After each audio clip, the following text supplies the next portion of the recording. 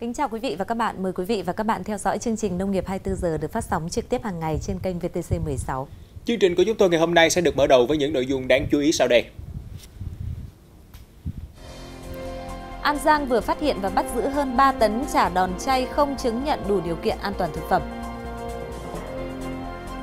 Sở Nông nghiệp và Phát triển Nông thôn Hà Nội tổ chức diễn đàn khuyến nông A cộng liên kết sản xuất và tiêu thụ sản phẩm nông nghiệp nhằm giải bài toán đầu ra cho nông sản thủ đô.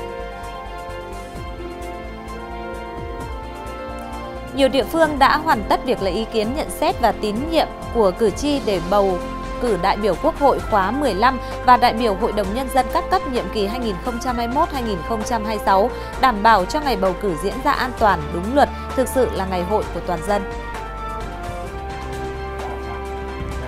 Gạo ST25 có nguy cơ bị mất thương hiệu tại Mỹ. Bộ Nông nghiệp Phát triển Nông thôn đang chỉ đạo các đơn vị có liên quan tìm giải pháp để ứng phó.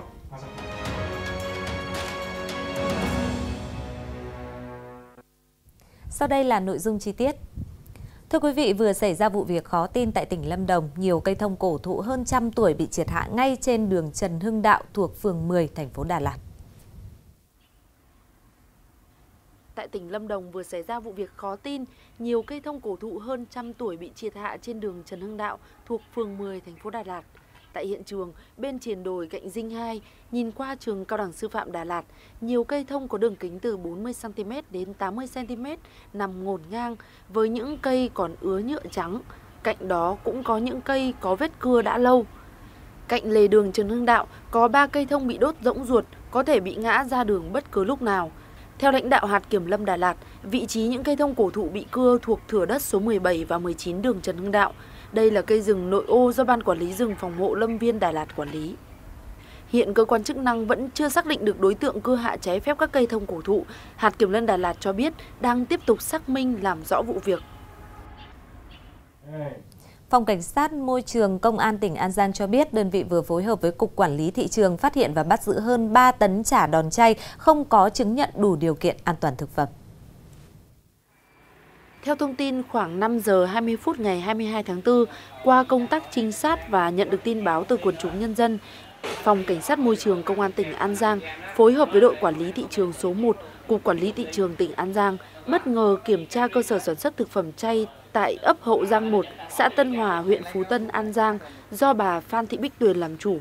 Qua kiểm tra, lực lượng chức năng phát hiện cơ sở này của bà Tuyền sản xuất thực phẩm chay vi phạm, không có giấy chứng nhận cơ sở đủ điều kiện an toàn thực phẩm, sản xuất thực phẩm mà không có bản tự công bố sản phẩm theo quy định của pháp luật. Tại hiện trường, lực lượng chức năng phát hiện bắt giữ hơn 3 tấn đòn chay để lấy mẫu kiểm nghiệm đánh giá, phân tích chất lượng sản phẩm vì nghi vấn là có nhiều chả đòn chay trộn với thịt cá. Hiện vụ việc đang được cơ quan chức năng tiếp tục điều tra làm rõ. Ủy ban nhân dân tỉnh Tiền Giang vừa có văn bản chấp thuận chủ trương tháo rỡ 8 đập thép trên các tuyến kênh rạch theo đề xuất của Sở Nông nghiệp và Phát triển nông thôn. Thời gian tháo rỡ đập thép trên kênh Nguyễn Tấn Thành từ ngày 29 tháng 4 và riêng 7 đập thép còn lại sẽ được tháo rỡ vào ngày 14 tháng 4. 8 đập thép này được triển khai theo quyết định của Ủy ban Nhân dân tỉnh Tiền Giang nhằm ngăn mặn chữ ngọt mùa khô năm nay trên các tuyến kênh rạch gồm rạch Nguyễn Tấn Thành, Ông Hổ, Cầu Sao, Rạch Me, Mỹ Long, Chín Tương, Bà Trà và Ông Mười. Đến thời điểm này, các công trình phòng chống hạn mặn trên đã phát huy hiệu quả, đảm bảo mặn không xâm nhập vào vùng chuyên canh cây ăn trái của các huyện thị phía Tây của tỉnh này, đồng thời đảm bảo được nguồn nước phục vụ cho sản xuất nước sinh hoạt cho hai nhà máy trên địa bàn tỉnh và một nhà máy ở tỉnh Long An.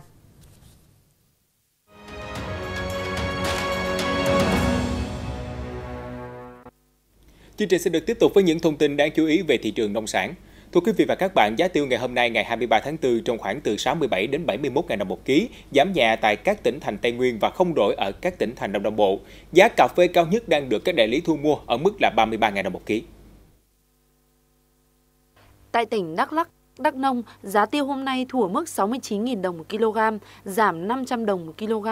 Tại tỉnh Gia Lai, giá tiêu hôm nay ở mức 67.000 đồng một kg, giảm 500 đồng một kg. Trong khi đó, tại Đồng Nai, giá tiêu hôm nay ở mức 68.000 đồng một kg. Còn tại tỉnh Bình Phước, giá tiêu hôm nay được thu mua với mức 70.000 đồng một kg. Tại tỉnh Bà Rịa Vũng Tàu, giá tiêu hôm nay ở mức 71.000 đồng một kg, cao nhất cả nước. Tại huyện Di Linh, Lâm Hà, Bảo Lộc, tỉnh Lâm Đồng, giá cà phê hôm nay là 32.100 đồng kg. Tại huyện Cư Mờ Ga, tỉnh Đắk Lắk, 33.000 đồng một kg. Tại huyện Ea Hờ Leo và Buôn Hồ thấp hơn một chút, cùng mức là 32.900 đồng một kg. Mức giá này cũng ngang với giá hầu hết các địa phương thuộc hai tỉnh Đắk Nông và Gia Lai, trong khi tại tỉnh Con Tum, giá cà phê thấp hơn 100 đồng kg, thu mua tại mức 32.800 đồng kg. Thưa quý vị và các bạn, hiện nay tại nhiều nơi trên cả nước đã bước vào vụ thu hoạch điều. Trái với năm trước, vụ điều năm nay đang phải đối diện với cảnh mất mùa. Ước tính vụ điều 2020-2021 sản lượng giảm hơn 30%, thậm chí có nơi giảm đến 50%. Thời tiết bất thường, nhiều trận mưa trái mùa, hiện tượng sương muối bất thường chính là nguyên nhân dẫn đến tình trạng trên. Ngành điều Việt Nam đứng trước nguy cơ thiếu hụt nguồn nguyên liệu để chế biến xuất khẩu. Ghi nhận của các phóng viên kênh VTC 16. Mỗi năm, nhà máy này sẽ thu mua khoảng 50% nguyên liệu điều trong nước, còn lại là nhập khẩu. Nhưng năm nay, để đạt được chỉ tiêu này là điều không dễ, bởi vấp phải sự cạnh tranh của nhiều doanh nghiệp khác. Trong khi việc nhập khẩu nguyên liệu điều từ các nước trên thế giới lại bị gián đoạn do ảnh hưởng của dịch Covid-19.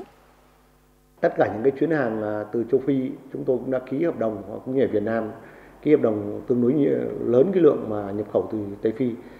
À, nhưng mà cũng do bị ảnh hưởng Covid cho nên là tàu bè nó trục chặt, đấy, thiếu công thiếu tàu từ nước ngoài.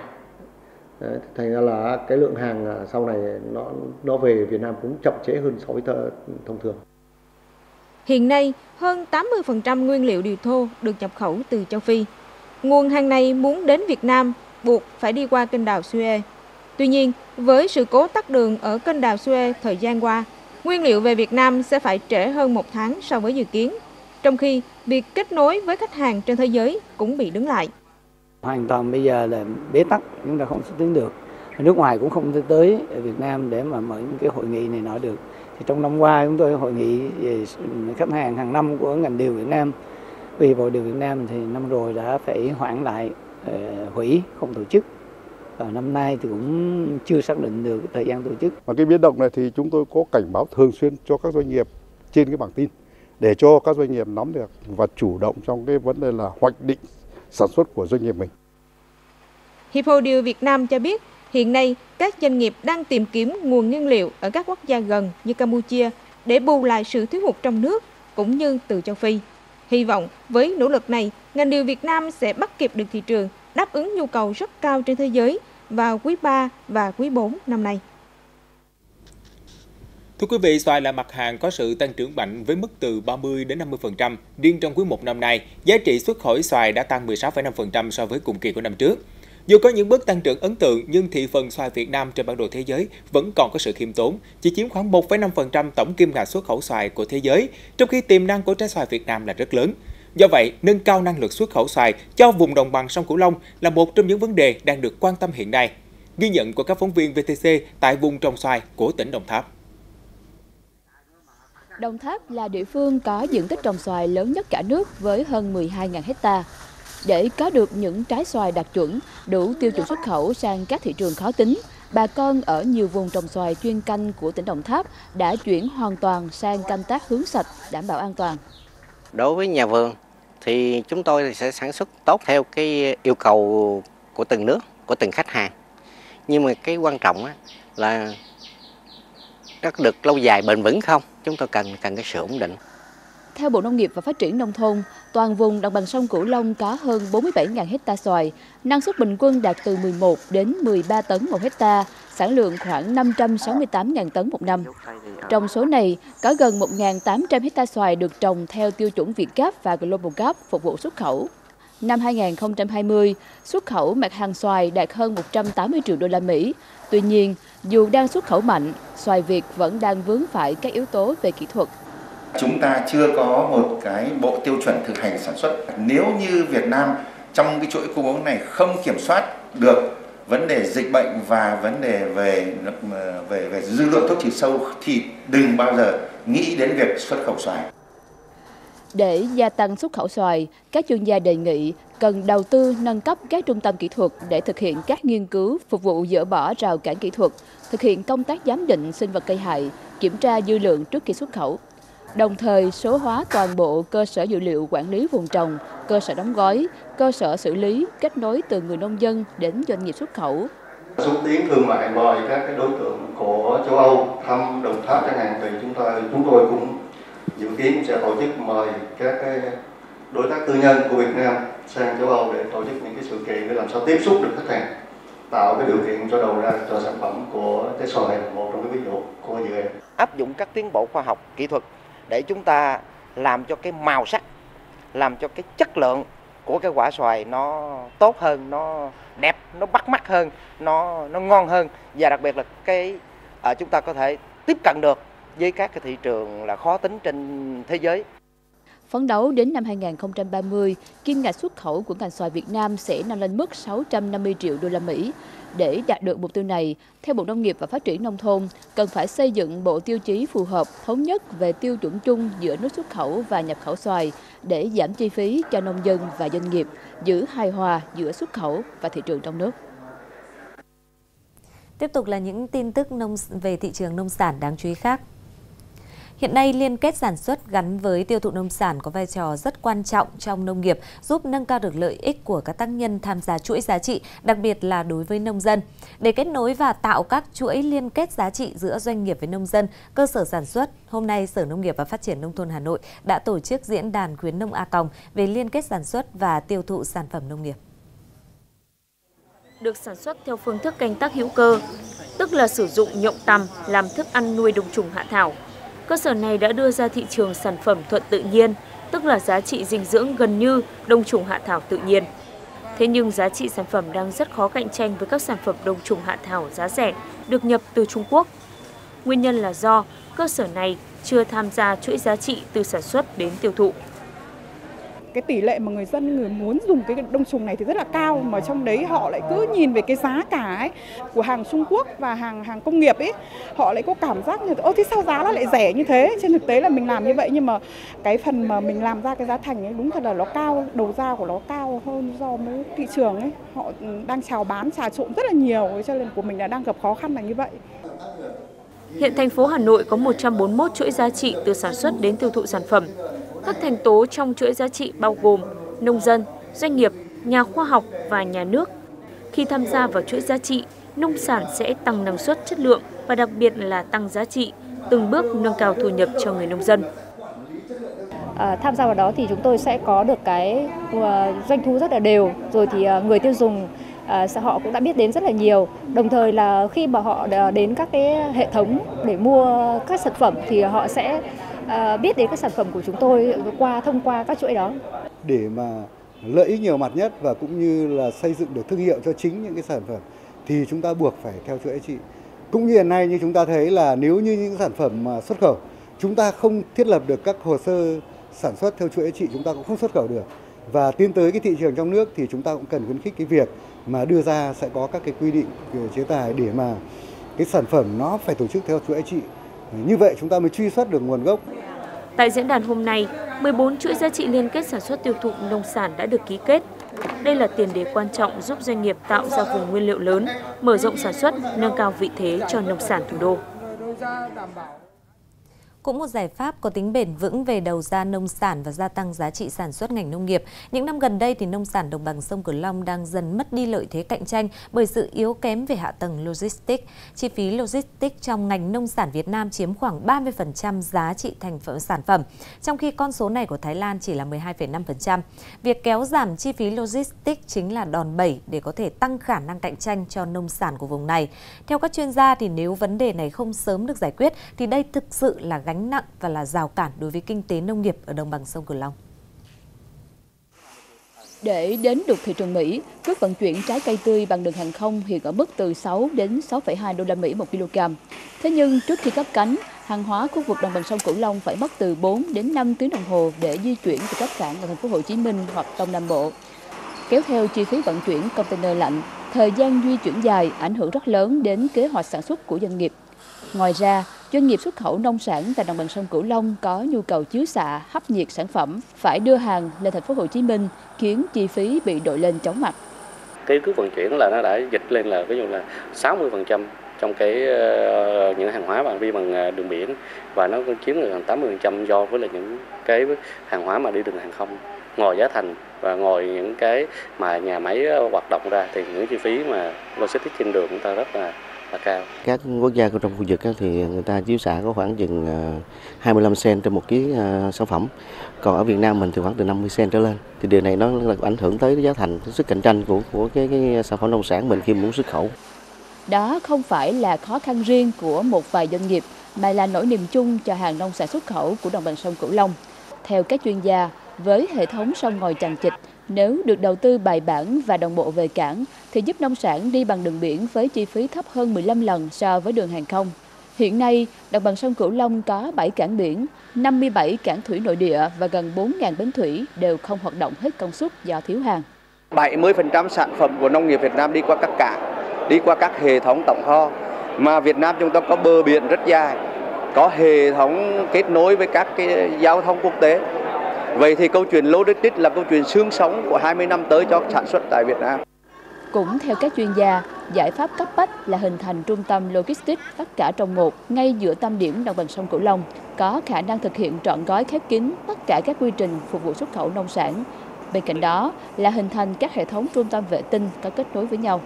Khi mà có những cái trung tâm làm việc hiệu quả thì tỉnh nào cũng sẽ có những cái trung tâm mới thì như vậy đó là một cái sự cạnh tranh và về khai thác nó nó không tốt chúng ta cần phải thứ tự quy mô lớn quy mô vừa quy mô nhỏ và những cái quy mô này những cái chạm này những cái điểm cái hấp này nó sẽ phải liên gắn kết với nhau thì nó sẽ tạo ra một cái dòng chảy nó liên mạch hơn nếu bài toán chi phí logistics được kéo giảm bằng những chính sách đồng bộ của chính phủ kết hợp với các điều kiện hạ tầng khác được doanh nghiệp đẩy mạnh, thì điểm yếu của ngành nông sản nói chung và trái cây nói riêng sẽ được khắc phục.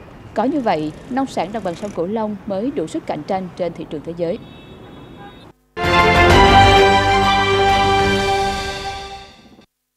Quay trở lại với những tin tức trong tiểu mục vấn đề nông nghiệp mà chúng tôi vừa thực hiện. Thưa quý vị, thông tin gạo ST25 bị doanh nghiệp Hoa Kỳ đăng ký quyền bảo hộ sở hữu trí tuệ đã khiến cho dư luận hoang mang.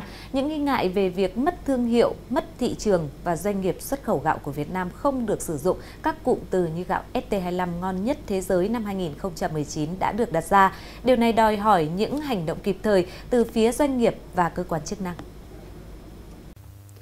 Theo đó, 4 doanh nghiệp này đã lần lượt đăng ký vào các ngày 31 tháng 7, mùng 10 tháng 8, mùng 1 tháng 9 và 22 tháng 10 năm 2020. Cả 4 doanh nghiệp đều do người Mỹ gốc Việt làm chủ. Ngay sau khi xuất hiện thông tin này, Bộ Công Thương đã tiến hành kiểm tra hệ thống đăng ký bảo hộ thương hiệu tại Mỹ. Kết quả cho thấy 5 hồ sơ đăng ký bảo hộ thương hiệu gạo ST25 ở trạng thái đang kiểm tra của 4 doanh nghiệp. Điều này cũng đồng nghĩa với việc thương hiệu gạo ST25 chưa bị mất tại thị trường Mỹ nếu có những can thiệp kịp thời. Thưa quý vị, ST25 là giống gạo Việt Nam được vinh danh gạo ngon nhất thế giới năm 2019. Vì thế mà thông tin gạo ST25 bị doanh nghiệp Mỹ đăng ký thương hiệu không chỉ ông Hồ Quang Cua, người nghiên cứu và lai tạo gạo ST25 mà cả ngành nông nghiệp cũng bất ngờ. Bộ Nông nghiệp và Phát triển Nông thôn có quan điểm và những động thái nào liên quan đến vấn đề này? Phòng, phóng viên của Nông nghiệp 24 giờ đã có cuộc trò chuyện với ông Nguyễn Quốc Toản, Cục trưởng Cục Chế biến và Phát triển thị trường nông sản, Bộ Nông nghiệp và Phát triển Nông thôn. Mời quý vị và các bạn cùng theo dõi. À, vâng, trước hết xin cảm ơn ông đã trả lời phỏng vấn của VTC16. Vừa qua thì có thông tin cho rằng gạo ST25 à, đã bị một số doanh nghiệp của Hoa Kỳ nộp đơn đăng ký quyền bảo hộ sở hữu trí tuệ. À, điều này sẽ dẫn tới những cái rủi ro về mặt thương hiệu của gạo của Việt Nam tại thị trường này. À, về phía Bộ Nông nghiệp và Phát triển Nông thôn thì xin ông có thể chia sẻ những cái à, quan điểm cũng như suy nghĩ của ông về vấn đề này ạ. Bất cứ một cái sản phẩm nào khi mà chúng ta uh, đưa vào thị trường dưới nhãn hiệu hàng hóa thì rõ ràng cần phải có cái đăng ký về mặt sở hữu trí tuệ ở trong và ngoài nước. Ở nước ngoài thì đối với thị trường nào đó chẳng hạn như thị trường Hoa Kỳ hoặc bất cứ thị trường nào đó thì phải theo cái luật của uh, nước sở tại và theo hệ thống pháp lý của nước sở tại. Và mọi phát sinh tranh chấp thì cũng nó phải theo đúng cái quy định của nó do vậy mà cái chuyện mà chúng ta cũng phải rất bình tĩnh trong cái việc mà chúng ta phải xác định rõ thông tin là các doanh nghiệp ở Hoa Kỳ à, đã nộp chưa và đã, cái quá trình, quy trình đó như thế nào thì rõ ràng cái này là cần phải chờ phải xác minh bằng những cái phát ngôn rất cụ thể từ phía cơ quan quản lý nhà nước mà tôi biết rằng là cục sở hữu trí tuệ ờ, đang có cái liên thông đối với cái cục sở hữu trí tuệ của Hoa Kỳ bằng cái hệ thống hợp tác quốc tế, bằng các cái nguồn tin liên thông, liên quan, thì sẽ xác nhận về vấn đề này. Về phía Bộ Nông nghiệp và Phát triển Nông thôn thì đã có những cái động thái như thế nào để hỗ trợ doanh nghiệp trong cái bối cảnh hiện nay ạ?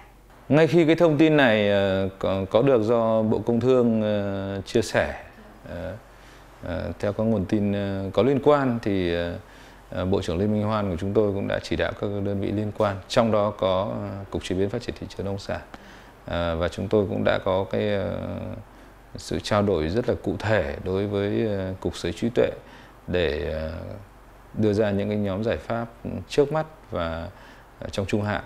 Trước mắt đó là việc ờ, giả soát xác minh các cái hồ sơ có liên quan tại Hoa Kỳ là những cái doanh nghiệp nào, những cụ thể trường hợp như thế nào và tiến độ ra sao. Cái thứ hai là phải ờ, uh, giả soát lại ngay chính cái hồ sơ đăng ký ở trong nước của cái gạo ST25 của kỹ sư Hồ Quang Cua. Đấy, nếu mà chưa được thì chúng ta phải có cái uh, Ờ, giúp đỡ tư vấn cho uh, cho cho cho kỹ sư Hồ Quang Cua và các cộng sự ờ, để làm sao cái trong nước chúng ta phải được được cấp giấy chứng nhận bảo hộ cái sở hữu trí tuệ đối với nhãn hiệu. Vâng một lần nữa xin cảm ơn ông ạ. Với tình hình cấp bách hiện nay, Bộ Nông nghiệp và Phát triển Nông thôn đang phối hợp tích cực cùng Bộ Công Thương, Bộ Khoa học và Công nghệ để tìm ra nhóm giải pháp giúp bảo vệ thương hiệu gạo ST25 tại Mỹ. Theo đó, thì giải pháp đầu tiên được triển khai đó là đề nghị các bộ ban ngành hỗ trợ doanh nghiệp đăng ký bảo hộ thương hiệu ở trong nước. Trước khả năng gạo ST25 bị mất thương hiệu tại thị trường Mỹ đầy tiềm năng, kỹ sư Hồ Quang Cua, người lai tạo ra giống lúa ST25 là đại diện doanh nghiệp tư nhân Hồ Quang Trí. Đơn vị đang sở hữu bản quyền giống lúa ST25 thừa nhận họ không có khả năng bảo vệ thương hiệu gạo ST25 trong bối cảnh hiện nay. Hiện Bộ Nông nghiệp và Phát triển Nông thôn đã chủ động liên hệ với Cục Sở hữu trí tuệ, Bộ Khoa học và Công nghệ đề nghị hỗ trợ doanh nghiệp đăng ký bảo hộ thương hiệu ở trong nước. Ngăn cái việc mà mà, mà cơ quan của Mỹ nó chấp nhận nó cấp cho cái ờ, bằng ờ, sáng kiến sáng chế cho cái ờ, cái, cái nhóm kia. Nhưng một mặt là mình phải đăng ký. Cái, cái, cái nhóm kia nó không có đó. Và nó cũng không có à, chỉ ra được nơi nào nó đang nó nó đã à, thực hiện cái cái việc mà lai tạo đó. Thì rõ ràng nó là cái người mà nó ăn cắp bản quyền của mình Trước ST25, cà phê Trung Nguyên đã tự mình đi đòi lại công lý cho mình bằng cách tự bỏ tiền túi. Còn với nước mắm Phú Quốc là sự hỗ trợ vào cuộc của các cơ quan chức năng như Đại sứ quán, Thương vụ, Bộ Công Thương. Các chuyên gia cho rằng ST25 cần sớm có nước đi để lấy lại thương hiệu của mình. Thưa quý vị, gạo ST25 đã từng mang chuông đi đánh xứ người, từng được vinh danh là gạo ngon nhất nhì thế giới, nhưng đến nay thì vẫn chưa là sản phẩm mang thương hiệu quốc gia. Nghịch lý này thì cũng đang diễn ra ở nhiều ngành hàng nông sản của Việt Nam, đặt ra những vấn đề về sự cần thiết trong sự hỗ trợ chính sách để doanh nghiệp chủ động đăng ký tham gia chương trình thương hiệu quốc gia. Ngay bây giờ mời quý vị khán giả chúng ta hãy cùng quay trở lại với ông Nguyễn Quốc Toàn, Cục trưởng Cục Chế biến và Phát triển Thị trường Nông sản, Bộ Nông nghiệp và Phát triển Nông thôn để hiểu rõ hơn về vấn đề này. Rõ ràng chúng ta thấy là từ trường hợp của thương hiệu gạo ST25 thì à, đây sẽ tiếp tục là một hồi chuông cảnh báo đối với các doanh nghiệp cần phải có kế hoạch xây dựng chiến lược thương hiệu quốc gia cho sản phẩm của mình, đúng không thưa ông? Phía các cái à, doanh nghiệp thì chúng ta cũng à, nên có những cái bộ phận để mà tham mưu bám sát cái việc này và kịp thời là chúng ta chủ động đối với các hiệp hội ngành hàng vai trò của các hiệp hội ngành hàng rất là lớn trong việc bảo vệ quyền lợi. À, tuy nhiên là cái cái sở hữu trí tuệ ở một khía cạnh nào đó đó là quyền lợi và nghĩa vụ của chủ thể của mỗi một chủ thể cá nhân đó. Đấy là quyền và nghĩa vụ. Người ta khai sinh ra một cái việc gì thì người ta phải có nghĩa vụ với việc đó. Do vậy mà uh, chúng tôi cũng rất mong muốn là các cái cơ quan quản lý nhà nước, đặc biệt là các sở khoa công nghệ ở các địa phương thì chúng ta cũng có cái phối hợp với các cái ngành liên quan trong đó có ngành nông nghiệp trong đó có ngành công thương trong đó có ngành khác để chúng ta giúp cho cộng đồng doanh nghiệp. Và à, đối với công tác tuyên truyền thì chúng ta cũng phải tuyên truyền liên tục về vấn đề này để nó để cùng làm sao mà tập huấn chia sẻ lượng thông tin nhiều hơn đối với cộng đồng doanh nghiệp. Tuy nhiên thì việc đăng ký thương hiệu quốc gia đôi khi vượt quá khả năng của doanh nghiệp trong lĩnh vực nông nghiệp. À, điều này đòi hỏi có doanh nghiệp cần có những cái chính sách hỗ trợ như thế nào để tránh những, những câu chuyện tương tự như ST25 vừa qua. Quản lý nhà nước sẽ giúp định hình cái chiến lược phát triển chung của ngành hàng, sẽ giúp đồng hành để giải quyết những vướng mắt, tháo gỡ khó khăn về mặt chính sách. À, đối với những về vấn đề pháp lý mà thuộc cái phạm vi quản lý của các cái uh, chính quyền địa phương ở sở nông nghiệp địa phương hoặc là ở trung ương đối với các bộ ngành liên quan thì chúng tôi sẵn sàng tham gia vào. Chẳng hạn như định hình cái ờ, chủng loại xuất khẩu gạo sang thị trường nào đó hay định hướng về một cái uh, thị phần ngách cần phải phát huy. Ví dụ như là thị trường khối Hala là thị trường đạo hồi chúng ta cũng phải có những chủng loại gạo riêng có. Hay là nhóm gạo hữu cơ thì tôi cho rằng đấy là những cái mà trách nhiệm chung cần phải cần phải chia sẻ còn cái vấn đề mà tư vấn pháp lý tôi nghĩ là cần phải có mỗi một doanh nghiệp cần nên có một cái bộ phận pháp lý bộ phận uh, hỗ trợ ví dụ như luật sư đại diện. Để bất cứ vào một thị trường nào thì phải có cái bộ phận đó.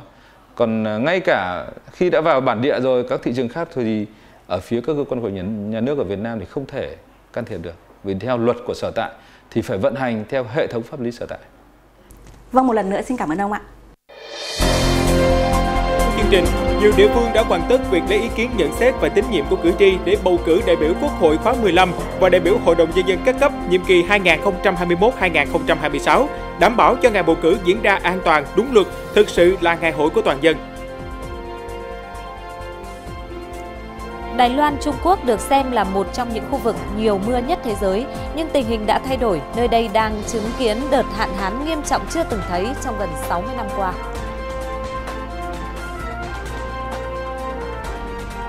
Trường học dành cho đời ơi, một khái niệm mà chắc nhiều người trong chúng ta chưa từng nghĩ đến. Tuy nhiên, đây lại là mô hình có thật tại đất nước Indonesia.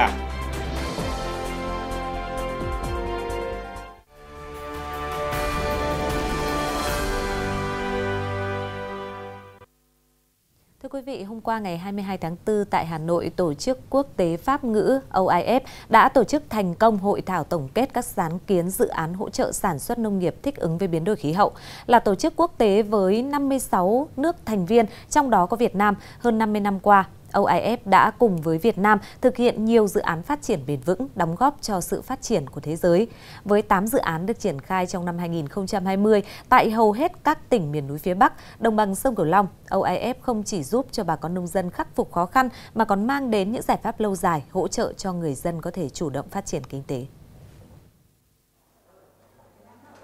Nếu như hai năm trước, thời tiết bất thường khiến năng suất mỗi vụ lúa của Hợp tác xã Anh Việt giảm đi đáng kể, thu nhập chỉ còn 80% so với mọi năm, thì từ nay, sau 7 tháng đồng hành và hỗ trợ của tổ chức OIF, được hỗ trợ cả về máy móc thiết bị và định hướng sản xuất, bà con trong hợp tác xã của anh không chỉ cải thiện phần lớn thu nhập mà còn gây dựng được thương hiệu đặc sản riêng, đạt chất lượng cao, mang dấu ấn đặc trưng của địa phương mình.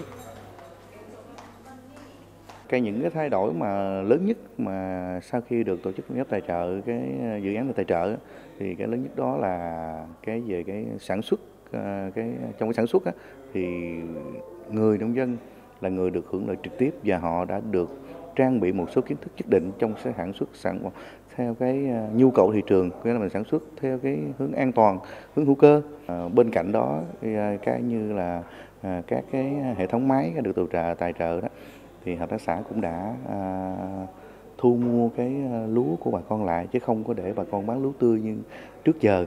Đó, thì cái giá cả giá trị nó không cao. Thì hiện nay thì hợp tác xã thu mua lại và tổ chức xe xác đóng gói à, bán ra thị trường. Do đó cái giá trị của hạt lúa nó cũng được nâng lên và cái thu nhập của người dân từ đó cũng được cải thiện. 2020 vừa qua thì à, tổ hợp tác sản xuất bánh tét của chúng em đó là gồm 20 thành viên thì tất cả các à, cái chủ sản xuất đều là nữ. Thì đã bị ảnh hưởng rất là nặng nề vì 3 đến 4 đợt à, lũ liên tục thì khi đó thì tất cả các nguyên vật liệu như là gạo, thịt heo và lá chuối thì đã bị trôi. Cái dự án ốp farm này đã hỗ trợ cho chúng em về à, nguyên vật liệu và các cái công nghệ thì chị em phụ nữ rất là vui mừng, cảm động và biết ơn. Với 8 dự án được triển khai ở Sơn La, Tuyên Quang, Phú Thọ, Đồng Tháp, Sóc Trăng, Cần Thơ, An Giang, cả miền núi phía Bắc và đồng bằng sông Cửu Long, Tổ chức Quốc tế Pháp ngữ OIF mang đến những giải pháp thiết thực, kịp thời, qua đó giúp người nông dân nhanh chóng chủ động khắc phục thiệt hại do biến đổi khí hậu gây ra. Trước tiên, ngay từ những bước đầu tiên của dự án, chúng tôi đã muốn tiến hành theo phương pháp cùng tham gia để sau đó các bên thu hưởng dự án có thể tiếp nhận và nhân rộng các thành tựu một cách dễ dàng. Chính vì vậy, chúng tôi mong muốn trong tương lai có thể củng cố và nhân rộng các dự án này tới nhiều đơn vị thu hưởng hơn nữa, đặc biệt trong việc hỗ trợ chế biến sản phẩm, đa dạng hóa hoạt động và tạo điều kiện cho sự tự chủ của các hợp tác xã. Chúng tôi sẽ có những hỗ trợ kỹ thuật trong việc đào tạo lập hồ sơ dự án, tìm nguồn tài chính, nhất là những nguồn tài trợ dành cho phát triển bền vững.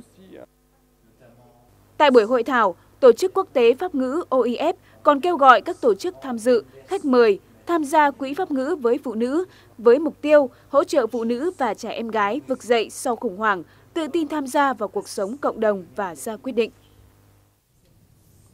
Chuyển sang một vấn đề đang được cả xã hội quan tâm. Tính đến thời điểm này, về cơ bản thì các địa phương đã hoàn tất việc lấy ý kiến nhận xét và tín nhiệm của cử tri để bầu cử đại biểu Quốc hội khóa 15 và đại biểu Hội đồng Nhân dân các cấp nhiệm kỳ 2021-2026. Đây là thước đo về năng lực về uy tín, trí tuệ, phẩm chất đạo đức của các ứng viên. Với những ứng viên đạt thấp hơn 50% tín nhiệm thì đều không đạt yêu cầu tham gia bầu cử. Điều này cho thấy các cuộc lấy ý kiến cử tri đã diễn ra rất nghiêm túc, không hề hình thức, hứa hẹn sẽ thực sự là ngày hội của toàn dân. Tại huyện Lục Ngạn, Bắc Giang, thời điểm này đang bước vào giai đoạn hiệp thương lần 3 để chuẩn bị cho bầu cử Hội đồng Nhân dân các cấp và đại biểu Quốc hội. Tần suất cổ động bằng loa phát thanh lưu động cũng được thực hiện liên tục để các cử tri nắm rõ và chọn được người xứng đáng nhất để giới thiệu, đưa vào danh sách bầu cử. Ngay từ tháng 2 thì ờ, Ủy ban bầu cử đã chỉ đạo Ủy ban dân Ủy ban dân huyện cũng đã xây dựng cái kế hoạch tuyên truyền và thực hiện cái tuyên truyền sâu rộng. Đấy, và bằng hai cái hình thức là kể cả trực quan động và trực quan tĩnh. Giai đoạn hiệp thương lần 3 là bước cuối cùng then chốt trong quy trình năm bước giới thiệu người ứng cử. Hội nghị lần này diễn ra dân chủ cẩn trọng công tâm, đánh giá toàn diện để chọn ra những ứng cử viên ưu tú, xứng đáng nhất cho toàn dân bầu chọn trong ngày bầu cử 23 tháng 5 sắp tới. Điểm đặc biệt so với các nhiệm kỳ trước, các địa phương đã áp dụng hệ thống công nghệ thông tin để nắm bắt kịp thời những phản ánh của cử tri. Ngoài cái việc chúng tôi mời về tổ chức tập huấn ở tỉnh, ở huyện thì chúng tôi mở một cái kênh Zalo riêng của công tác bầu cử của mặt trận Tổ quốc từ huyện xuống đến ban công tác mặt trận ở thôn tổ dân phố để triển khai kịp thời tất cả những cái nội dung và giải quyết tất cả những vấn đề gì vướng mắc ở cơ sở. Theo số liệu tổng hợp của Ủy ban Trung ương Mặt trận Tổ quốc Việt Nam, danh sách sơ bộ những ứng viên được giới thiệu trước hội nghị hiệp thương lần 3 gồm 1.085 người, trong đó phụ nữ 481 người, chiếm 44,33%, dưới 40 tuổi là 305 người, chiếm 28,11% và người tự ứng cử 76. Cuộc bầu cử đại biểu Quốc hội khóa 15 và bầu cử đại biểu Hội đồng Nhân dân các cấp nhiệm kỳ 2021-2026, việc lựa chọn ra các đại biểu chất lượng là mục tiêu quan trọng nhất. Cái cơ cấu số lượng thành phần à, thì vẫn phải bảo đảm tại vì nó là ừ, thể hiện cho cái khối đại đoàn kết toàn dân tộc và thể hiện cho đại diện ý chí của các giai cấp tầng lớp dân tộc ờ, trong toàn xã hội nhưng mà cái chất lượng đại biểu vẫn là cái cái cái quan trọng nhất để làm sao mà góp phần vào cái nâng cao chất lượng hoạt động của các cơ quan ờ, ờ, quyền lực nhà nước trong thời gian tới.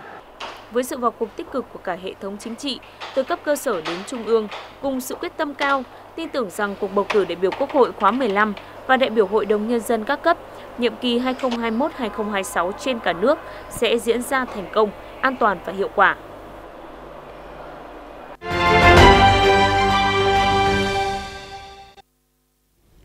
Vâng, chương trình sẽ được tiếp tục với những thông tin đáng chú ý có trong tiểu mục Nông dân 4.0. Thưa quý vị và các bạn, vừa tăng gia sản xuất, chất lượng lại có thể giảm tối đa công lao động cũng như là giảm chi phí sản xuất. Tất cả các hoạt động chăm sóc cây trồng vật nuôi đều do máy móc thực hiện. Đây chính là công nghệ IoT hay chúng ta còn gọi là công nghệ Internet kết nối vạn vật. Là địa phương đi đầu về phát triển nông nghiệp ứng dụng công nghệ cao, nông nghiệp thông minh 4.0, tỉnh Lâm Đồng đang có nhiều mô hình áp dụng công nghệ IoT nhiều nhất cả nước hiện nay từ quản lý nước tưới, phân bón đến điều kiện đất, nước, khí hậu, năng suất, thu hoạch.